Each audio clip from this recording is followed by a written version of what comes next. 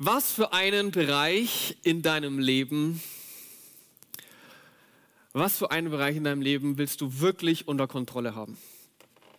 Gibt es das in deinem Leben? Bist du so jemand, du sagst da ein paar Sachen, das ist jetzt, hm, ist okay, aber ich habe einen Bereich, gibt es jemanden, du sagst, das will, ich, das will ich unter Kontrolle haben, wirklich. Das möchte ich gerne, das möchte ich komplett unter, unter Kontrolle haben. Okay, zwei, drei sind ehrlich, okay, ein Drittel. Es ist Ostersonntag, gell? Da muss man richtig ehrlich sein. Und vielleicht hattest du auch gerade das Gefühl, du möchtest die Hand von deinem Nebenmann nach oben heben. Könnte es sein, dass du dann vielleicht jemand bist, der sehr, sehr gern alles unter Kontrolle hat? Und vielleicht sagst du, naja, ich bin nicht kontrollierend. Ich bin nur hilfsbereit auf eine sehr aggressive Art und Weise. Oder du sagst, naja, ich bin halt einfach nur komplett durchorganisiert. Aber die Sache ist, du bist so durchorganisiert, dass sogar der Kaffee nervös wird. Und dieses Osterwochenende, das hast du dir alles perfekt, das hast du dir perfekt ausgemalt. Ja, man steht so auf und dann vielleicht dann richtig schön angerichtetes Osterfrühstück. Die Eier sind schon im Garten versteckt und die Kinder haben perfekt ein Outfit an, das super zueinander passt, vielleicht sogar noch zu deinem Outfit. Und dann geht man erst Eier suchen und du schaust natürlich, dass du die perfekten Aufnahmen kriegst für deine ganzen Followers auf Instagram oder in deiner WhatsApp-Familiengruppe. Ja, die, wurden heute zugeballert mit ganz vielen Bildern von Osternestern und Osterhasen und weiß der Geier. Und du denkst so, und dann geht's in den Gottesdienst und dann da rauchen die Kinder ein bisschen länger und dann sagt, macht mal weiter und wir wollen heute Gott anbeten, kommt, auf geht's los jetzt in den Gottesdienst. Weil du hast dir alles genau so vorgestellt. Alles perfekt durchgeplant. Und du möchtest alles unter Kontrolle haben. Und möchte dich bitten, denk mal an das, an genau das, was du am meisten in deinem Leben unter Kontrolle haben möchtest. Was ist die eine Sache, wo du sagst, das möchte ich unter Kontrolle haben? Ist es vielleicht dein Tagesablauf? Vielleicht deine Finanzen? Ist es die Meinung von anderen Menschen? Vielleicht geht es dir so wie mir. Ich hasse es, wenn ich irgendwo hin zu spät komme, weil ich hasse es, wenn Leute von mir denken, dass ich zu spät komme. Kennt das irgendjemand? Ne? Ich will das kontrollieren, was andere über mich denken. Geht es dir vielleicht auch so manchmal? Vielleicht willst du sogar Menschen kontrollieren. Ne? Deinen Ehepartner, deine Kinder oder keine Ahnung, vielleicht deine Schwiegertöchter oder Schwiegersöhne, ich weiß nicht, es gibt alles Mögliche, was man kontrollieren kann. Deine Kollegen in der Arbeit, dein Chef. Was möchtest du immer unter Kontrolle haben?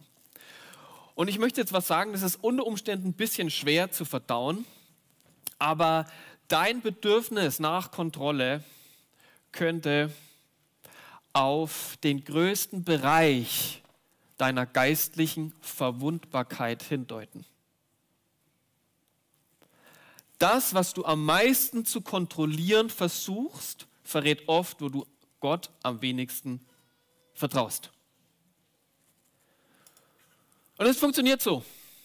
Es gibt eine Sache und da vertraue ich Gott ein bisschen weniger, nicht so sehr, und dann brauche, muss ich das mehr kontrollieren. Ich muss das unter Kontrolle haben. Und wenn ich das unter Kontrolle habe, dann habe ich Angst davor, die Kontrolle zu verlieren. Ist schon mal jemandem passiert? Du hast Angst davor, genau darüber die Kontrolle zu verlieren. Und je mehr Angst wir haben, umso mehr versuchen wir zu kontrollieren und umso mehr wir versuchen zu kontrollieren, umso weniger vertrauen wir Gott. Und letztendlich vertrauen wir Gott immer weniger und weniger und weniger. Und wir halten uns heute, fangen an mit Matthäus 26, das ist, steigen in die Geschichte ein, gleich nach dem letzten Abendmahl. Und Jesus ist da im Garten Gethsemane mit seinen Jüngern. Und wir lesen in Matthäus 26, Vers 36. Jesus kam nun mit seinen Jüngern an eine Stelle am Ölberg, die Gethsemane genannt wird. Dort sagt er zu ihnen, setzt euch hier hin und wartet. Ich gehe noch ein Stück weiter, um zu beten. Jesus wusste, dass er am nächsten Tag am Kreuz hängen würde. Jesus wusste, was auf ihn zukommt. Und das, was er gesagt hat, ich weiß, was ich brauche. Ich brauche Zeit mit meinem himmlischen Vater. Und was hat er gemacht? Er hat gebetet.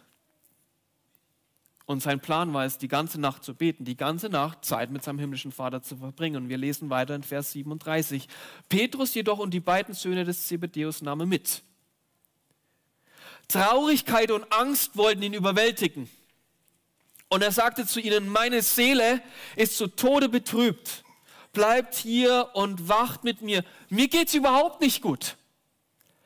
Ich bin innerlich am Zerbrechen. Ich bin verzweifelt. Ich kann nicht mehr. Und bitte bleibt mit mir wach. Bitte unterstützt mich. Und er selbst ging noch ein paar Schritte weiter, warf sich zu Boden mit dem Gesicht zur Erde und betete. Mein Vater, wenn es möglich ist, lass diesen bitteren Kelch an mir vorübergehen. Aber nicht wie ich will, sondern wie du willst. Wie du das möchtest. Als er zu den Jüngern zurückkam, schliefen sie. Da sagte er zu Petrus, ihr konntet also nicht einmal eine einzige Stunde mit mir wach bleiben. Die hatten einen Job. Einen Job hatten sie, wach bleiben. Einen Job. Und ich muss ganz ehrlich sein, mir geht es so, dass mein Problem ist, wenn ich beim Beten sitze, dann schlafe ich ein. Wir haben jede Woche Pray First. Wir beten jeden Freitagmorgen von sechs bis sieben treffen uns zum gemeinsamen Gebet. Du bist da sehr gerne, sehr herzlich eingeladen in unserem Church-Gebäude. Und wir haben auch zweimal im Jahr 21 Tage Gebet und Fasten, in denen wir uns unter der Woche jeden Tag von sechs bis sieben zum Beten treffen. Und ich muss dir sagen, wenn ich mich da hinsetze, und ich habe das schon ausprobiert, wenn ich mich da hinsetze, schlafe ich ein. Und ich bewundere alle die, die dann sitzen können, weil ich würde einschlafen. Ich komme damit nicht zurecht. Ich muss dann laufen, ich muss dann rumlaufen, ich muss stehen.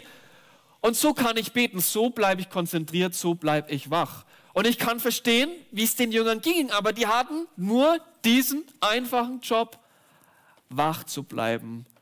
Und nicht mal das haben sie geschafft. Vers 42. Jesus ging ein zweites Mal weg und betete, mein Vater, wenn es nicht anders sein kann und ich diesen Kelch trinken muss, dann soll dein Wille geschehen. Und wir wissen mit absoluter Gewissheit, dass Jesus seinem himmlischen Vater vertraut hat. Er hat ihm vertraut. Und Jesus hat sich in genau diesem Moment für Hingabe statt Kontrolle entschieden. Und das ist nicht normal. Das ist nicht normal in unserer Kultur. In unserer Kultur geht es immer darum, dass wir großgezogen werden, dass wir lernen, du musst alles unter Kontrolle haben. Du musst die Kontrolle übernehmen. Du musst die Verantwortung übernehmen. Du machst es möglich. Du kannst alles schaffen, wenn du es willst. Hör einfach, was dein Herz sagt. Dein Herz wird dich schon richtig leiten. Das ist leider eine der größten Lügen der Menschheit, denn unser Herz sagt an einem Tag so und an einem anderen Tag so. Und die Wahrheit ist, wir haben nicht die Macht, immer alles zu kontrollieren. Aber wir haben immer die Macht, uns hinzugeben, uns Gott hinzugeben. Wir können nicht immer alles unter Kontrolle haben. Egal wie sehr du das willst, egal wie hart du dran arbeitest, egal wie du deine Fäden spinnst. Du kannst nicht alles kontrollieren, aber du hast immer die Macht, diesen Bereich in deinem Leben Gott hinzugeben. Ich habe eine Frage für dich. Was ist dir lieber? Dass Gottes Wille in deinem Leben geschieht oder dein Wille? Was würdest du sagen? Wer ist für Gottes Wille? Wer ist für dein Wille? Okay, jetzt waren wir nicht ehrlich. Oh. Was ist dir lieber? Das, was Gott will oder das, was du willst? Und jetzt sagst du, ne, ich bin Christ, natürlich will ich, was Gott will. Ist doch ganz klar, dass ich Gottes Wille in meinem Leben möchte. Wirklich? Meistens ist es doch so, ich will, was er will, bis er was anders will, als ich will. Oder? Sind wir doch mal ganz ehrlich. Gott, ich will, ich will, was du willst, aber bitte zwing mich nicht, jemanden zu heiraten, der hässlich ist. Gott, ich will, was du willst, aber schicke mich nicht als Missionar nach Afrika. Und jetzt kannst du dein persönliches Gott, ich will, was du willst, aber einsetzen, was du auf keinen Fall möchtest in deinem Leben. Und die, die meisten von uns, wir wollen das Glauben und wir wollen Gott unser Leben anvertrauen und wir kommen dann zu der Überzeugung, dass wenn wir das tun, wenn wir Jesus nachfolgen und ihm unser Leben anvertrauen, dann gibt er uns ein glückliches, gesundes, komfortables und sorgenfreies Leben. Oder? Wer ist dafür? Ja, okay. Leider ist es nicht der Fall. Leider ist es nicht der Fall. Denn Jesus, Jesus lädt uns nicht zu einem Leben der Bequemlichkeit und Leichtigkeit ein, sondern zu einem Leben des sich Opferns und der Hingabe, dass wir unser Leben immer wieder ihm hingeben, Bereiche ihm immer wieder hingeben. Was versuchst du zu kontrollieren, dass Gott will, dass du ihm hingibst? Was ist es? Ist es vielleicht eine Beziehung, in der du bist, die von, du weißt es so im Hinterkopf, ist nicht so gut, aber ist jetzt so, passt ganz gut. Ich denke, Gott kommt schon irgendwie damit klar. Sind es vielleicht deine Kinder, um die du dich sehr viel sorgst und du alles um sie herum planst und kontrollierst und schaust, dass ihnen ja nichts passiert? Sowas so ein bisschen helikoptermäßig. Kennst du die Helikoptereltern? Wenn du sie nicht kennst, kann sein, dass du so jemand bist. Das ist deine Gesundheit. Dass du deine Gesundheit kontrollieren möchtest, unter deiner Kontrolle haben möchtest, aber du merkst, dass das funktioniert einfach nicht. Es gibt Dinge, die kannst du nicht kontrollieren. Vielleicht ist es deine Zukunft. Du hast ganz bestimmte Pläne. Du hast was vor in deinem Leben. Aber es kann sein, dass Gott ein bisschen anderen Plan hat. Und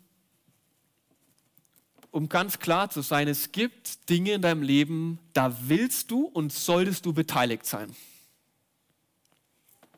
Und ich möchte dir drei Fragen vorstellen, die uns helfen können, ein bisschen zu sortieren. Ist es jetzt eine Sache, um die ich mich kümmern sollte, oder ist es gerade nicht so wichtig? Oder ist es etwas, was Gott wichtig ist? Die erste Frage ist, ist es meine Sorge wert? Soll ich mich darum kümmern?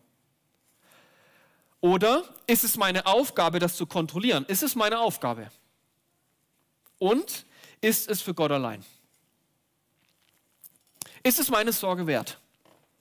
Und es gibt Sachen, da musst du dich echt nicht drum kümmern, da brauchst du dir keine Gedanken machen. Es sind manchmal Kleinigkeiten, aber die sind uns total wichtig. Bei uns zum Beispiel, ich bin in unsere Ehe hineingekommen und ich habe schon immer meine Hosen zweimal gefaltet. Also zusammen natürlich und dann gefaltet und nochmal gefaltet. Okay, so habe ich das gelernt. So macht man das. Und ich habe die dann so zweimal gefaltet und ich habe die in den Schrank reingelegt. Weil ich kann auch meine Hosen reinlegen. Ne? Ich habe diese Fähigkeit auch bekommen. Für alle Männer, die ihren Schrank nicht einräumen können, Gott hat mehr für dich.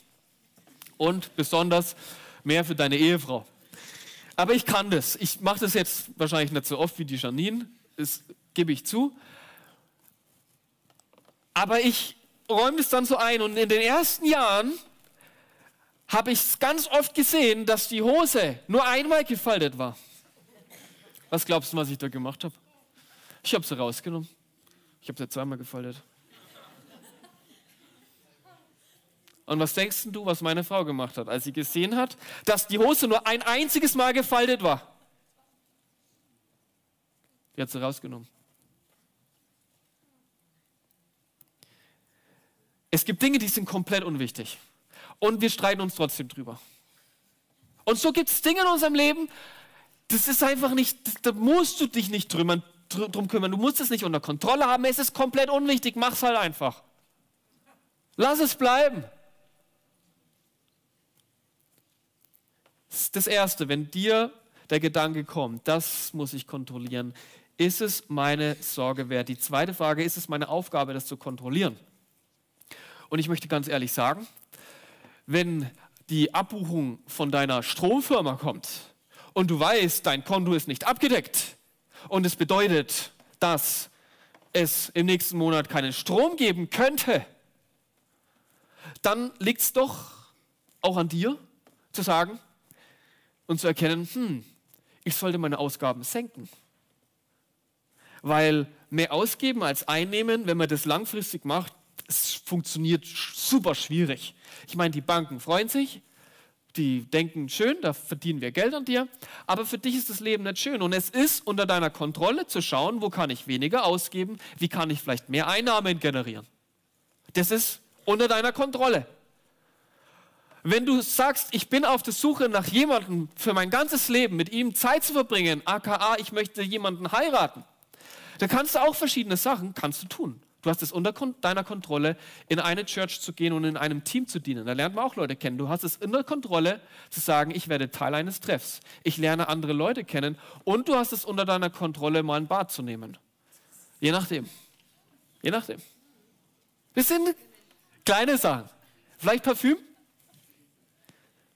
Ich trage immer gern Parfüm. Ich liebe das. Gut riechen ist echt wichtig. Aber es gibt Dinge, da kannst du nicht sagen, ach, ich muss mich darum kümmern.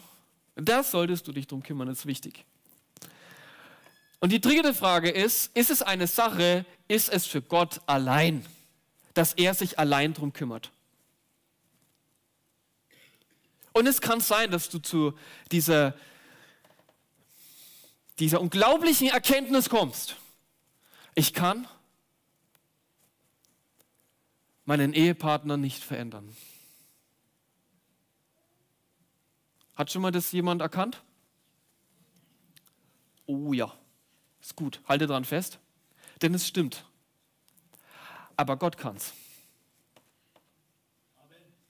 Gott kann's. Oh, da kam, das kam flott. Wunderbar. Gott kann's. Und es kann sein, dass es für dich ein Bereich ist, in dem du sagst, Gott, ich habe ich hab alles versucht es klappt nicht. Ich möchte dir das hingeben. Ich möchte dir das hingeben. Ich werde nicht mehr das kont kontrollieren versuchen. Ich gebe dir das hin. Vielleicht ist es, dass du einen geliebten Menschen nicht teilen kannst, weil du es nicht kannst, weil es nicht geht. Und du dann sagst, Gott, ich kann es nicht, ich habe es nicht mehr unter Kontrolle, es ist deine Sache. Es ist für dich allein. Ich kann diese Last nicht tragen. Und es kann deine Zukunft sein, dass du vielleicht diesen Moment hattest, du hattest alles geplant und es kam komplett anders und du hattest immer die Illusion zu glauben, zu denken, dass dein Leben sich so abspielt, wie du dir das vorgestellt hast. Aber es funktioniert einfach so nicht. Und du merkst, letztendlich ist es eine Sache für Gott allein, dass ich es ihm abgebe. In Sprüche 3, 5 bis 6 heißt es, vertraue von ganzem Herzen auf den Herrn und verlass dich nicht auf deinen Verstand. So etwas wie Hingabe in Teilen, teilweise Hingabe. Sowas gibt es nicht. Du kannst Gott nicht mit 62,5 Prozent deines Herzens vertrauen. Und mit dem Rest, nee, nee, nee, Gott, nee, Gott. Das gibt's nicht. Wenn wir unser Leben Gott hingeben, dann funktioniert es nur ganz. Wir können nicht sagen, Gott, ich vertraue dir in einigen Dingen, aber in anderen vertraue ich dir nicht. Das ist doch nicht Hingabe. Wir können nicht sagen, Gott, ich vertraue dir, dass du mich gerettet hast, aber mit dem Zehnten vertraue ich dir nicht. Ich vertraue dir, dass wenn ich für ihn bete, dass du ihn erhörst, aber wenn ich für mich bete, das wahrscheinlich nicht. Von ganzem Herzen. Vers 6. Denke an ihn, was immer du tust, dann wird er dir den richtigen Weg zeigen.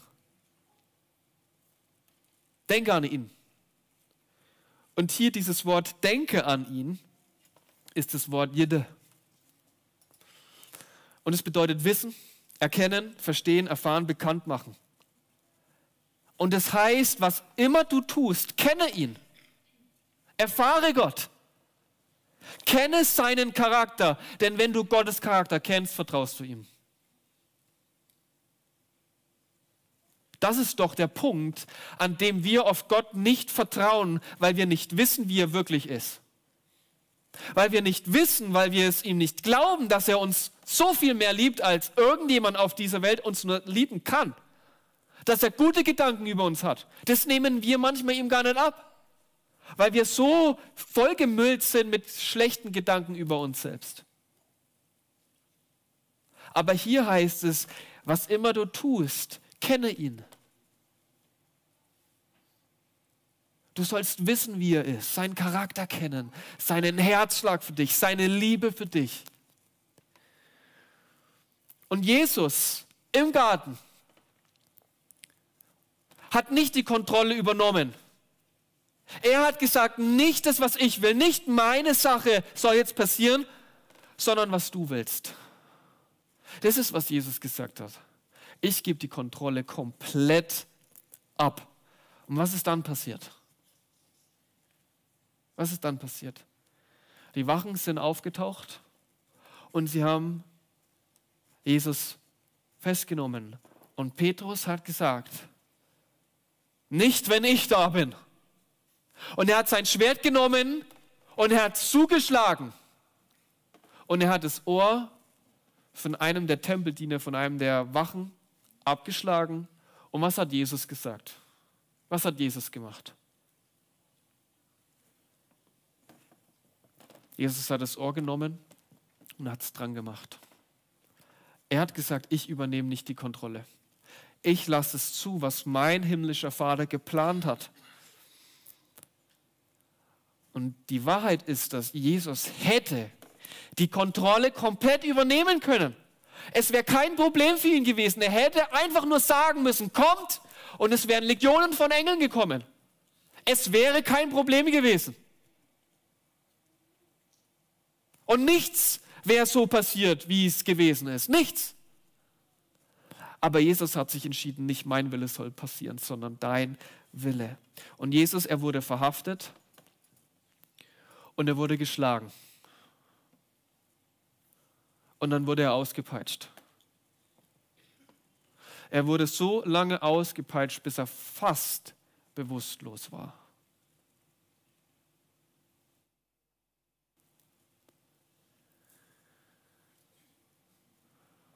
Und er wurde so zugerichtet, dass man nicht mehr erkennen konnte, wer er war. So wurde Jesus zugerichtet. Die römischen Soldaten damals waren sehr gut da drin, sehr gut da drin, Menschen brutal zu foltern. Bis auf die Knochen. Und das Fleisch hing in Fetzen von ihm runter. Die haben immer wieder zugeschlagen. Und dann haben sie Jesus genommen, seinen gestundenen Körper. mit enorm hohem Blutverlust. Und haben ihn auf ein Kreuz gelegt und haben Nägel durch seine Hände und durch seine Füße getrieben. Durchs Handgelenk durch. Durch die Füße durch. Und dann wurde er aufgestellt. Und die Art und Weise, wie Menschen dort aufgehängt worden sind damals, wurde auf eine bestimmte Art und Weise gemacht. Denn ihr Körper wurde langgezogen und die hingen dran. Und der Druck auf ihre Lunge war so groß, dass wenn sie hingen, konnten sie keinen Atemzug nehmen. Jeder musste, der am Kreuz hing, um atmen zu können, musste sich nach oben drücken. Jedes Mal musste er seinen Rücken, der offen war, bis auf die Knochen, über das raue Holz nach oben schieben, um Luft zu holen. Jedes einzelne Mal. Das ist, was Jesus durchgemacht hat für uns. Jedes einzelne Mal.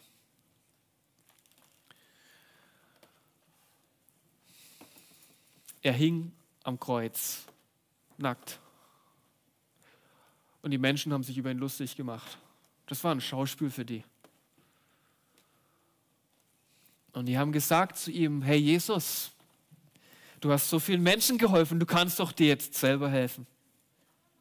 Und die haben sich über ihn lustig gemacht, die haben ihn ausgelacht. Und was hat Jesus gemacht? Jesus hat gesagt, Vater, vergib ihnen, denn sie haben keine Ahnung, was sie gerade hier tun. Sie wissen nicht, was sie tun. Und er begann seinen letzten Atemzug zu nehmen und hat gesagt, es ist vollbracht. Es ist vollbracht. In deine Hände, Vater, gebe ich meinen Geist. Und die Sonne verdunkelte sich und die Erde bebte.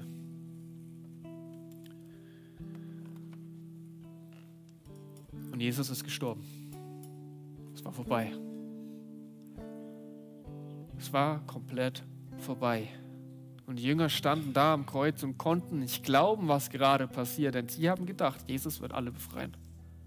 Er ist der Messias. Er wird uns befreien von dieser Herrschaft der Römer. Und die Hoffnung war dahin. Aber es, es geht weiter. Am dritten Tag machen sich die Frauen ganz früh auf, gehen zum Grab, wollen zu Jesus und was sehen sie da? Sie sehen, dass der Stein weggerollt ist. Und da standen zwei Männer und die sagen ihnen, pass mal auf, der Jesus ist nicht mehr da. Der, der liegt hier nicht mehr, der ist auferstanden, er lebt. Und das ist, was ich dir sagen möchte. Wir glauben nicht irgend an eine tote Religion, sondern wir glauben an einen lebendigen Gott. Wir glauben an einen Jesus, der den Tod und die Sünde überwunden hat. Und dass es etwas Relevantes ist für dein Leben. Dass Jesus für die Dinge in deinem Leben gestorben ist, die du schlecht gemacht hast, wo du Sünde auf dich geladen hast, wo du Dinge getan hast, die bereust du. Dinge, über die du niemals reden willst, für die ist Jesus gestorben. Er hat alles auf sich genommen. Und Jesus wurde für uns zur Sünde. Der, der ohne Sünde war. Und Gott hat ihn von den Toten auferweckt, dass egal wer, egal wer, Egal, was in deinem Leben kaputt gegangen ist, er hat die Fähigkeit, es wieder ganz zu machen. Und das Einzige, was du da machen musst, ist zu ihm zu beten, mit ihm zu reden, zu ihm zu kommen. Dein Leben hinzugeben, die Kontrolle abzugeben, so wie er uns das vorgemacht hat. Du hast nicht immer die Macht, alles unter Kontrolle zu haben, aber du hast immer die Macht, dein Leben Gott hinzugeben. Immer. Wir lesen in Matthäus 10, Vers 39, Jesus sagt da, wer an seinem Leben hängt, wird es verlieren. Aber wer es für mich aufgibt, wird es finden. Und Hingabe und Kontrolle abzugeben, das ist keine einmalige Entscheidung. Du sagst, ja, ich habe mein Leben Jesus gegeben und es gut ist, sondern es ist eine tägliche Entscheidung. Es ist, dass wir das immer wieder neu machen. Dass wir immer wieder neu auf unser Herz schauen und fragen, Gott, welcher Bereich, welchen Bereich halte ich dir gerade vor? Was versuche ich gerade zu kontrollieren? Wo fällt es mir schwer, dir das abzugeben? Und das ist meine Frage an dich. Was ist es, wovon du weißt, das musst du Gott abgeben? Das musst du ihm hingeben. Was ist das? Was ist das?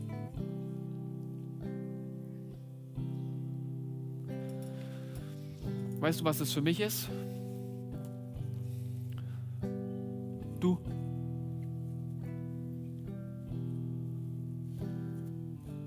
Ich habe Sonntag für Sonntag knapp 35 bis 40 Minuten Zeit. Und es gibt einige, die sind heute hier, die waren letzte Woche nicht da. Und es gibt einige, die sind heute hier, werden nächste Woche nicht da sein. Und, und ich sehe das. Und ich denke, aber da gibt es so viel mehr für dich. Gott ist für dich gestorben und er möchte dein Leben auf die beste, schönste Art und Weise auf deinen Kopf stellen. Er möchte dir Frieden geben. Er möchte dir echte Liebe zeigen. Das, was du dein ganzes Leben lang gesucht hast, hat er für dich. Jesus hat alles für dich. Und er möchte, dass du dein Leben ihm gibst. Dass du die Kontrolle ihm abgibst. Dass du dich ihm hingibst.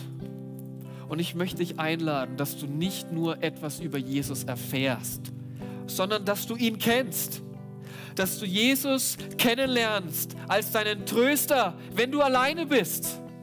Wenn niemand für dich da ist, wenn niemand Zeit hat, ist er dein Tröster. Wenn du mit Depression kämpfst, dann lerne Jesus kennen als deinen Frieden. Wenn du Angst um deine Finanzen hast, wenn du Angst hast, dass es nicht reicht, dann lerne Jesus kennen als deinen Versorger. Wenn du krank bist, dann lerne Jesus kennen als der, der dich heilt. Wenn du missgebaut hast in deinem Leben, dann lerne Jesus kennen als dein Retter. Lerne ihn kennen als das, was er ist.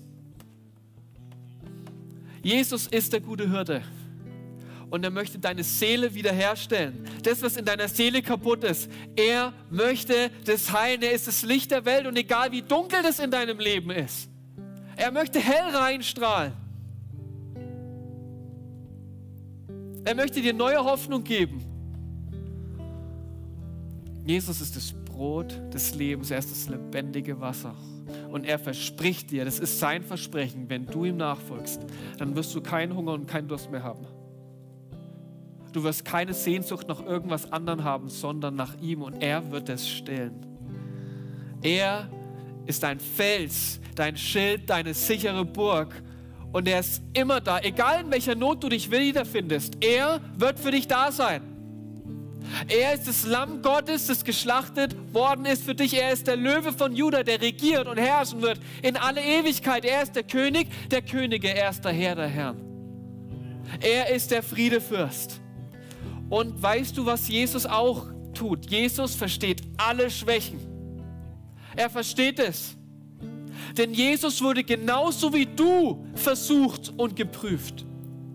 Er versteht es, den Schmerz und das Leid. Er versteht die Angst. Er versteht dieses Gefühl, komplett alleingelassen zu werden verraten zu sein, belogen zu sein, betrogen zu werden. Er versteht es, dass Menschen sich über dich lustig machen. Er versteht es, dass Menschen dich im Stich lassen. Er versteht es, weil er es gespürt hat. Aber Jesus hat sich davon nicht abbringen lassen, sondern Jesus hat gesagt, Vater, nicht mein Wille, sondern dein Wille soll geschehen. Und ich möchte dich, ich möchte dich herausfordern, ich möchte dich bitten, komm mutig zum Thron der Gnade. Komm mutig zu Gott. Denn er möchte dir echt, er möchte dir wirklich helfen. Er hat mehr für dich in deinem Leben. Und weißt du, was, du das, was das Interessante, was das Krasse, was etwas ist, was wir an Gott wahrscheinlich nie verstehen werden? Jesus ist für dich gestorben und hat alles bezahlt für dich, den gesamten Preis der Sünde, während du gesündigt hast. Während du im Dunkeln bist. Und er sagt immer noch, egal wo du gerade dich wiederfindest, egal wie du dich gerade fühlst, egal was du gemacht hast, egal wie viel Mist du gebaut hast, er hat immer noch offene Arme für dich. Er sagt immer noch, es hat sich gelohnt, dass ich für dich gestorben bin. Und ich warte auf dich. Das ist, was Jesus ist, das ist sein Herzschlag. Das ist, was er für dich empfindet.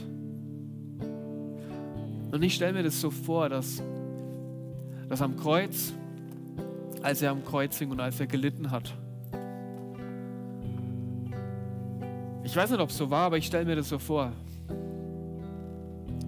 dass in all dem Schmerz, in all der Last, dass er da ganz speziell an dich gedacht hat. Und dass er sich gedacht hat, deswegen mache ich das. Ich will nicht, dass sie, ich will nicht, dass er verloren geht.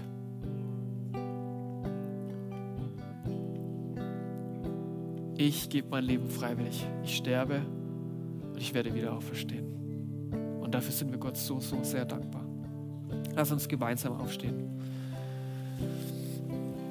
Und ich möchte dich jetzt bitten, ich möchte dir eine Frage stellen und wenn du das bist, dann, dann leg einfach kurz deine Hand auf dein Herz. Wenn du sagst, hey, in meinem Leben gibt es einen oder mehrere Bereiche oder das ist mein, eigentlich mein ganzes Leben und du sagst, ich, es fällt mir so schwer, das zu kon die Kontrolle abzugeben. Und wenn du das bist, wenn du sagst, da ist was und mir fällt es unglaublich schwer, einfach loszulassen, dann möchte ich dich bitten, dass du kurz deine Hand auf dein Herz legst und ich möchte für dich beten. Jesus, ich danke jetzt für jede Person, die ehrlich ist und sagt, ich, ich habe es versucht und ich schaffe es einfach nicht. Und ich bitte dich, dass du uns jetzt die Kraft gibst, loszulassen, die Kontrolle abzugeben, ob es ein Kind ist, ob es vielleicht Eltern sind, ob es ein Freund, Arbeitskollege, ob es die Arbeit ist, ob es Finanzen sind, egal was das ist. Gott, ich danke dir, dass du uns jetzt die Kraft gibst, das dir abzugeben, die Kontrolle dir abzugeben. Danke, dass du uns jetzt hilfst, dass wir dir vertrauen in jedem Bereich unseres Lebens, dass wir keinen Bereich auslassen und dass wir dir ganz neu diesen Bereich vor deinen Thron legen und sagen, Gott, es ist, ich schaff's nicht und es ist deine Sache. Ich übergebe dir die Kontrolle. Und Jesus, wir danken dir, dass du das annimmst. Amen. Und vielleicht bist du auch heute hier und du sagst, du hast noch nie, du hast noch nie dein Leben ganz bewusst Jesus gegeben. Du hast noch nie gesagt, ich, ich schaff's nicht allein, ich habe gesündigt in meinem Leben und ich brauche Gott, ich brauche, dass er mir vergibt. Und ich möchte dich bitten, dass du kurz deine Augen schließt. Schließe einfach ganz kurz, da kannst du besser nachdenken. Und wenn du sagst, hey, das ist, das bin ich. Ich bin das. Ich brauche Jesus. Ich schaff's nicht allein. Ich hab's probiert und es klappt nicht. Und vielleicht spürst du die Last deiner Sünde auf deinem Leben. Vielleicht schämst du dich für Dinge die du getan, gesagt hast, gemacht hast. Und du willst nicht mehr mit dieser Last leben, dann möchte ich dich einladen, diese Last ein für alle Mal abzugeben, das Jesus zu geben. Und du kannst es ganz einfach tun, indem du ihn bittest, dass er der Herr in deinem Leben wird. Und wenn du sagst, das ist, was ich heute tun möchte, heute an diesem Ostersonntag, während alle Augen geschlossen sind, möchte ich, dass du mutig bist, da wo du bist. Und ich bitte dich, dass du deine Hand hebst. Ich zähle bis drei und dann hebst du einfach kurz deine Hand, damit ich sehen kann. Eins, zwei, drei. Hebst du weit hoch. Danke, danke, danke, danke. So gut, so gut. Hey, lass uns das jetzt festmachen. Ich möchte ein Gebet sprechen und du kannst es mir einfach nachsprechen. Bist du bereit? Auch wenn du schon mal gebetet hast, bet's einfach laut mit. Jesus, ich komme jetzt zu dir. Ich danke dir, dass du am Kreuz für mich gestorben bist und ich nehme jetzt deine Vergebung als ein Geschenk der Gnade an.